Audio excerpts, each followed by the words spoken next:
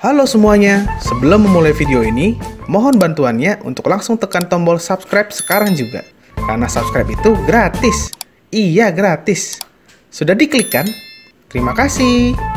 Semuanya, kembali lagi bersama saya Didi di channel Didi Cymex. Kali ini kita akan memperlihatkan hasil nano ceramic coating kita dan ngebahas sedikit mobil yang ada di depan saya ini. Ya ini mobil Toyota Innova tipe V yang terbaru tahun 2021 yang sudah facelift bisa kelihatan ya nggak terlalu kelihatan perubahannya kalau dari samping maupun belakang tapi dari bagian depan terlihat di bagian bumpernya dan grillnya yang seperti model-model Hilux ya. Oke sekarang kita akan memperlihatkan dulu uh, hasil nano ceramic coating kita atau paint protectionnya. Jadi mobil ini baru seminggu kalau diterima oleh customer kita. Langsung dia bawa ke kita untuk di paint protection biar bisa dilihat ya efek mirror looknya kilatnya juga beda banget dibanding baru pertama kali keluar dari showroomnya. Jadi apa sih manfaat nano ceramic coating itu? Biar mobilnya itu kilat terus seperti ini dan mencegah baret-baret halus anti UV, anti karat dan ada efek daun talasnya. Jadi terlihat mobilnya wet look terus lah. Terus apa aja yang kita lapis? Kita lapis bagian lampunya biar nggak menguning bodinya biar kinclong terus kacanya biar nggak jamuran juga terus plastik-plastiknya ini biar nggak burem ya. Jadi hampir semuanya kita lapis sampai ke bagian velg-velgnya. Kita kasih garansi 2 tahun harganya mulai dua setengah juta aja.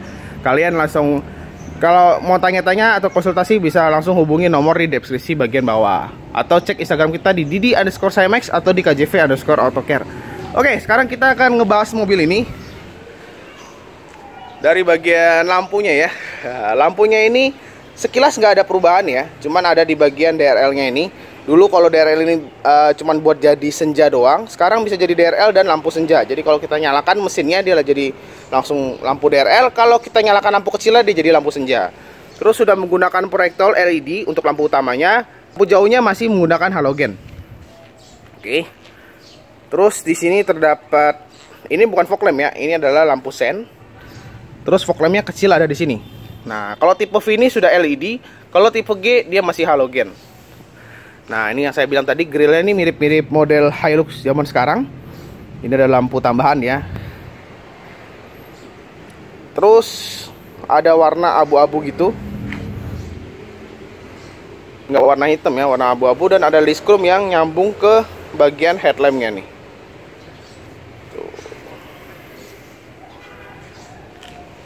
Oke, sekarang kita ke bagian samping. Nah, di bagian samping ini terlihat velgnya sudah berubah menjadi velg tuton zaman kini-kinian ya. Sekilas modelnya juga kayak Nissan Terra yang kemarin waktu kita bahas. Ya mau lihat uh, review Nissan Terra bisa dilihat di link atas ya. Ini bannya menggunakan ring 16. Profil bannya 205 ya, 205 per 65 merek Ecopia Bridgestone. Ini tahun produksinya tahun 2021 cuman kesannya bannya besar velgnya terlalu kecil buat mobil sebesar ini. Kalau diganti ring 17 kayaknya lebih keren ya. Empuknya juga masih dapat Oke terus di bagian samping sudah ada spionnya yang sama kayak warna body catnya. Dan terdapat lampu sen yang sudah LED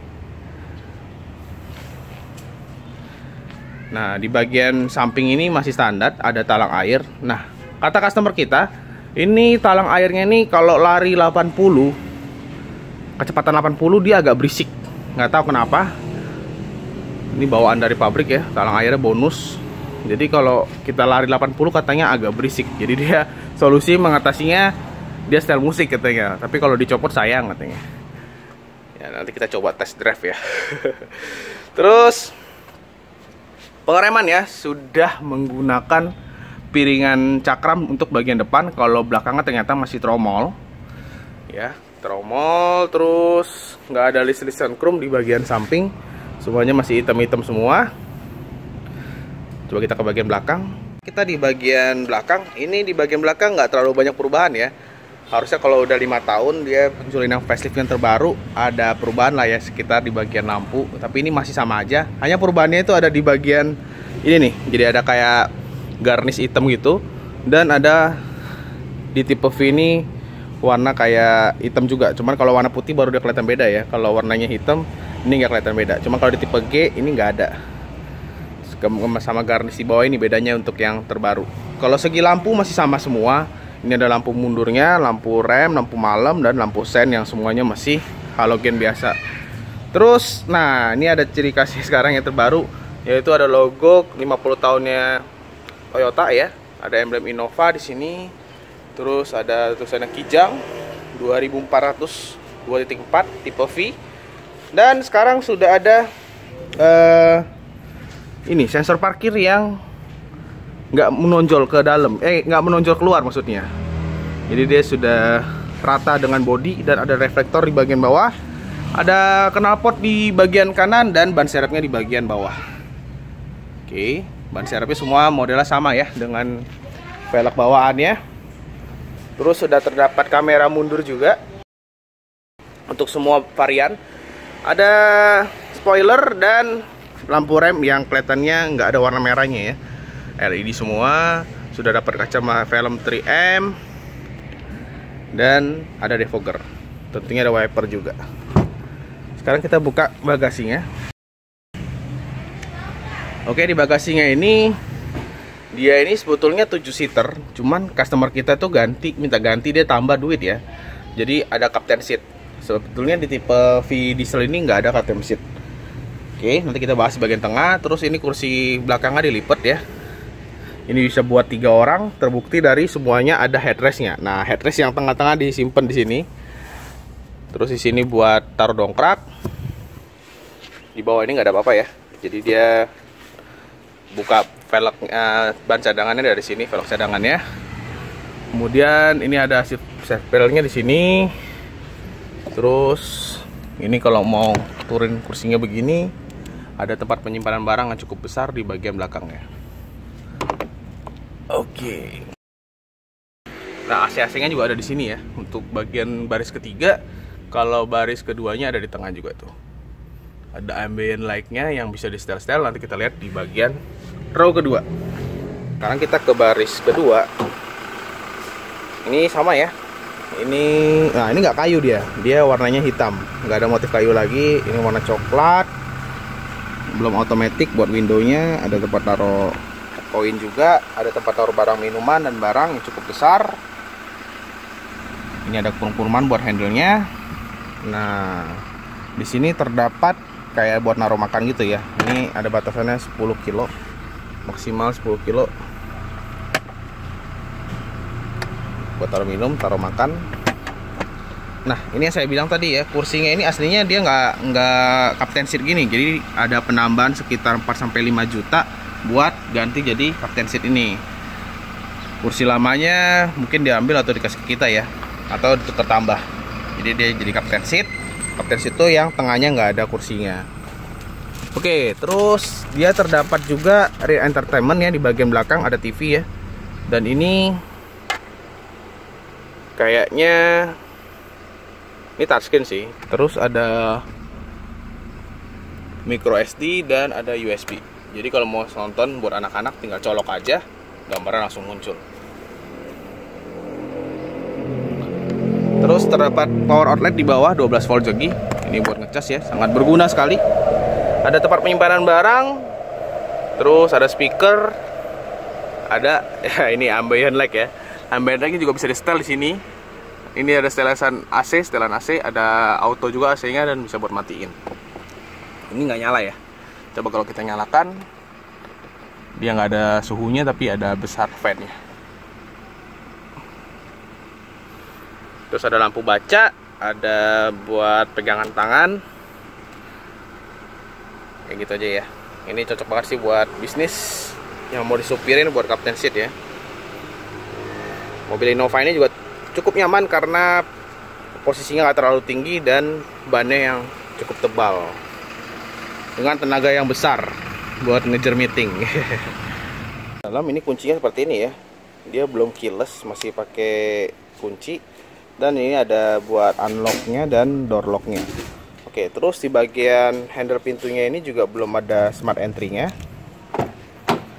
nah kalau secara desain di bagian door trim ini masih sama aja ya kayak yang sebelumnya. Cuma bedanya di bahan kainnya ini warnanya nih kayaknya warnanya lebih gelap warnanya coklat kalau yang klaim lain yang sebelumnya itu kayaknya warna coklat lebih muda ya Oke, terus kita lihat di bagian door trimnya ini terdapat uh, buat retract spion ya, setel spion, uh, window lock, door lock, unlock dan otomatiknya cuman di bagian supir aja buat windownya. Terus di sini ada kum-kuruman buat handlenya dan ada tempat naruh koin, tempat naruh minum dan buat taruh barang. Ada speaker juga dan ada Twitter di bagian atasnya. Oke, sekarang kita akan cek sound ya. Jadi kuncinya itu masih yang biasa ya, belum keyless.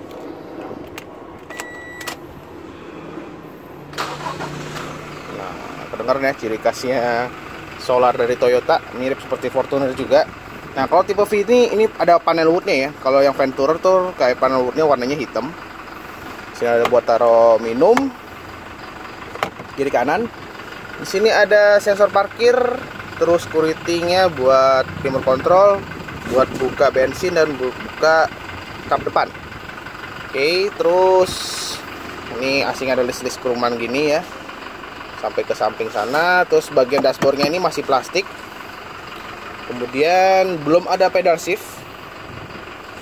Belum ada pedal shift jadi uh, setelan atau apa manualnya itu ada di gigi ya. Jadi gigi ini tectonic oke nanti kita bahas. Sekarang kita naik dulu.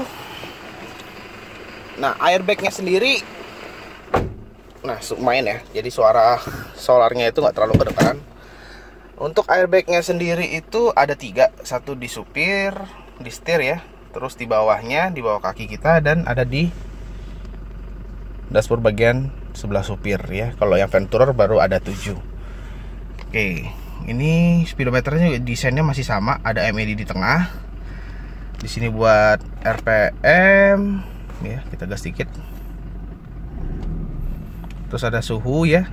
Ada bensin dan kilometer. Terus indikator-indikatornya ada di sini semua. Setelnya bisa lewat sini ya. Coba kita setel iseng-iseng dikit ya. Ada apa aja sih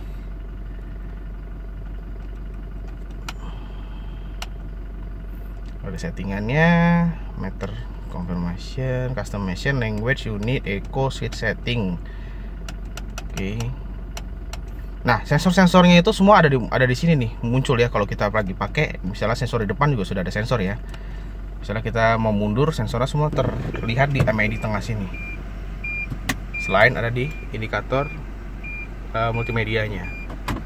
Oke terus setirnya ini sudah bisa tilt dan teleskopik coba kita setel. Ya naik turun dan teleskopik. Ini sangat pengaruh sih buat uh, mengendara lebih nyaman karena sesuai dengan posisi badan kita. Di sini ada buat pengaturan wiper yang bisa auto untuk kecepatannya. Terus di sini lampu juga sudah ada tulisan autonya. Kita nyalain AC dulu cukup panas nih. Ini ada setelan belakang AC belakang dan AC depan ya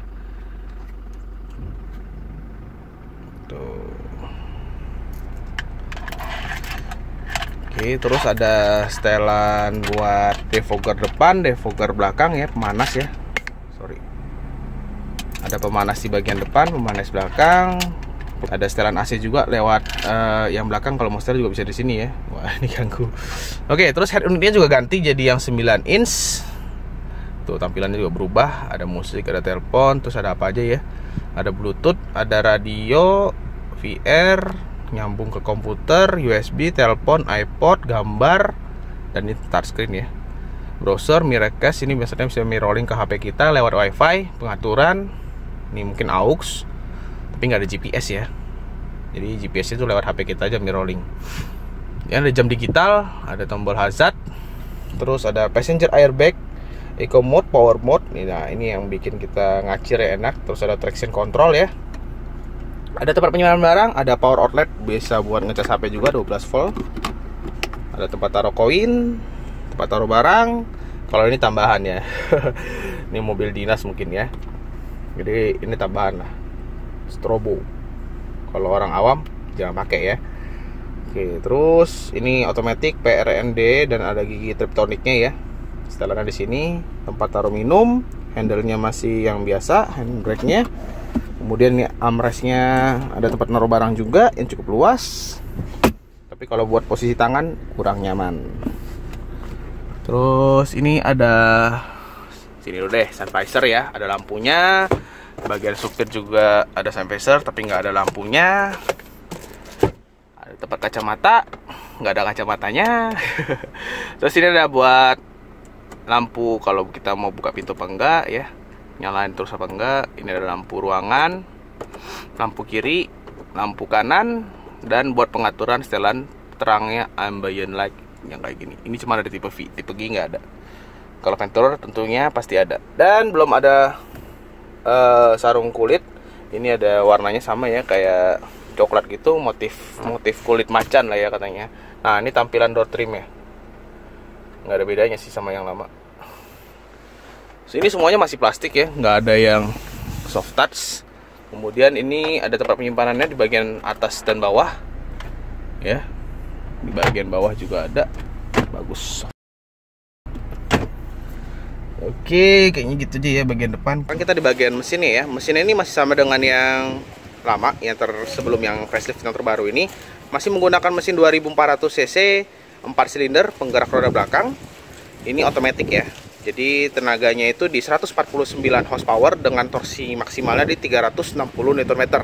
Nah, kalau yang manual dia lebih rendah untuk torsinya di 300, 342 Nm ya. Jadi yang otomatis ini lebih bertenaga. Sudah ada peredamnya, terus rangka-rangkanya semua sudah dicat sesuai dengan warna bodinya. Oke. Oke, sekian review singkat saya di mobil Toyota Innova tipe V yang ada di belakang saya ini tahun 2021 warna hitam ya. Ini kata customer saya harga on the roadnya 417 juta dia dapat dengan diskon 5 juta lagi. Dan penambahan kursi untuk captain seatnya sekitar 4 sampai 5 juta. Jadi kalian bisa totalnya sendiri ya kurang lebih mau 420 juta lah ya di di luar aksesoris lainnya. Nah bagi kalian yang mau nanya-nanya tentang paint protection nano ceramic coating atau cuma full detailing atau cuma poles-poles saja bisa langsung hubungi saya. Yang mau cat ngesol atau ngecat satu body juga bisa. Atau mau beli produknya aja buat pengkilat atau buat bersihin mesin bersihin jamur kaca atau buat biar jamur kacanya nggak ada lagi itu langsung bisa tanya-tanya saya di kontak nomor di bawah atau komen aja di bagian bawah atau cek instagram saya langsung di didi underscore cmx apakah harga spesial yang nonton dari video ini. Oke, jangan lupa bantu subscribe, like, komen, dan share jika Anda suka dengan video ini. Sampai jumpa di video berikutnya. Salam kinclong. Step one, wake up early, gonna rise with the sun.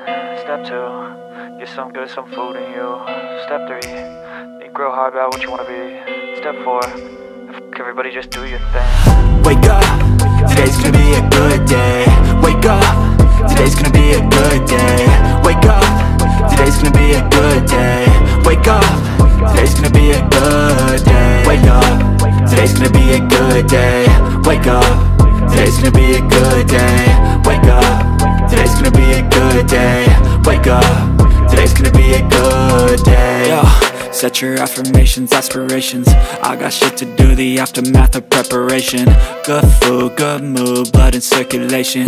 One step at a time, yeah that's how you make it. Set a goal you control and the steps you take them I try to pick one thought, have some concentration. And if I make a mistake, it's called education. I try to do this every day, call it rep